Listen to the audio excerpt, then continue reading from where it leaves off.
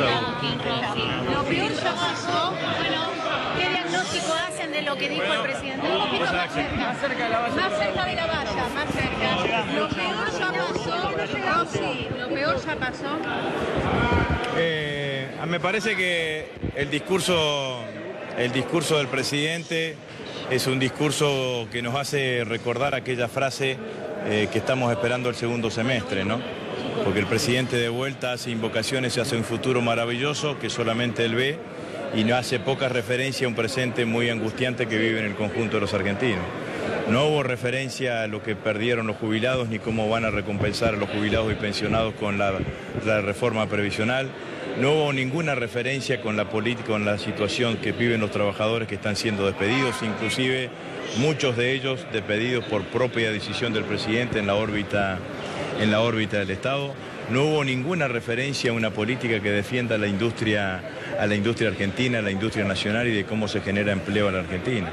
El presidente habla que se crearon nuevos puestos de trabajo en el 2017. O, eh, emite o, eh, omite hablar de que esos mismos puestos de trabajo que se crearon en el 2017 apenas alcanzan a compensar por los que se perdieron en el 2016. Pero lo que es más grave es que obvia eh, cualquier referencia que la población económicamente activa aumentó en estos dos años en casi medio millón de personas. Por lo tanto, aumenta claramente la desocupación. La economía no generó un puesto de trabajo para compensar a aquellos argentinos que salen en búsqueda, que salen en búsqueda de su primer, de su primer, de su primer trabajo. Entonces, la sensación que yo me llevo es que un presidente que habla de una realidad eh, que no es la realidad que vive diaria y cotidianamente los argentinos, que están viviendo en estos días y en estos meses tarifazos, aumento de todos los servicios, aumento de los alimentos, producto de la devaluación y el aumento de los servicios con los mismos salarios del año pasado y con un gobierno que genera un escenario de paritarias con tope del 15% que sabemos que claramente van a llevar nuevamente a una pérdida del poder adquisitivo del salario porque ninguna consultora privada habla de una inflación de menos del 25%. ¿Por qué está tan escindido de la? Está bajando. Mirá, hay que leer simplemente los diarios, las consultoras, incluso las más oficialistas. Están hablando de que en febrero va a dar la inflación arriba de lo que dio en enero, que dio arriba de lo que venían pronosticando, y así nos comeríamos cinco puntos de inflación más o menos en dos meses. Este, por otro lado, muy llamativo que no hable del enorme endeudamiento externo. La verdad que habla el Wall Street Journal, todos los diarios extranjeros de cómo se está endeudando, hablan las agencias de calificación de la fragilidad que tiene nuestra economía y el presidente habla del crecimiento invisible que tendrían que estar disfrutando todos ustedes. Bueno, lo invisible son los jubilados, que le bajó la jubilación, lo invisible son los despidos, de los que no vino a hablar, y no estamos diciendo esto simplemente porque queremos plantear que fue un discurso divorciado de la realidad, como todo el mundo ha visto, como decía todos los que hablaron, que yo escuchaba recién. Ese no es el problema. Quiere que la agenda del Congreso esté divorciada de la realidad. Nosotros queremos acá venir a hablar de la industria, venir a hablar de los despidos, venir a hablar de todos los desastres económicos que arma un plan económico que, que siempre ha traído los mismos resultados. Diputado Rossi, ¿qué evaluación hacen de la- del faltazo de la expresidenta de la Nación? ¿Por qué no estuvo acá? ¿Se pueden contar algo? Lo, lo- lo dije hoy en todos los medios. La pre- Cristina estuvo, se fue a Gallegos el fin de semana porque era, quería pasar en Gallegos el cumpleaños, el cumpleaños de Néstor. Tiene dos nietos allí, se quedó estos días en Gallegos, pero no hay que ver ni hacer ningún análisis, ni ningún análisis, ni ninguna lectura política de eso. Rossi, ¿cree que...? No, pero yo creo que la ausencia, la, ausencia más importante de hoy fue la realidad en el discurso del presidente. Eso es lo que faltó. La verdad que él tenía que hablarle a la nación y habló de un mundo ficticio y de nuevo, como decía Agustín, nos vino a prometer que más adelante está un futuro mejor, pero el presente nunca habla.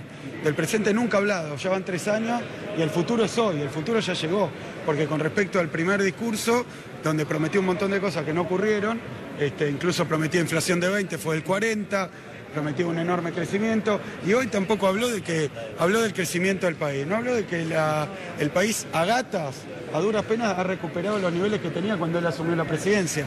Y en la industria y en la industria todavía estamos casi cuatro puntos abajo. En la construcción, que él decía récord de tal cosa, de tal otra, es comparado con 2016, que fue un año pésimo. La construcción, la realidad es que todavía está a dos puntos casi, dos, 2,2 abajo de como estaba en 2015.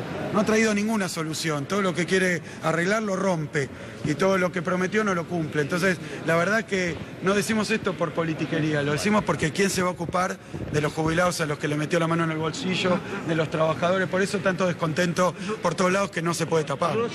a pesar de que estuvo alejado del tema económico, este, da la impresión de que hizo un planteo por primera vez en los tres años que lleva dando discurso aquí en la Cámara con una agenda parlamentaria. ¿Usted cómo lo vio?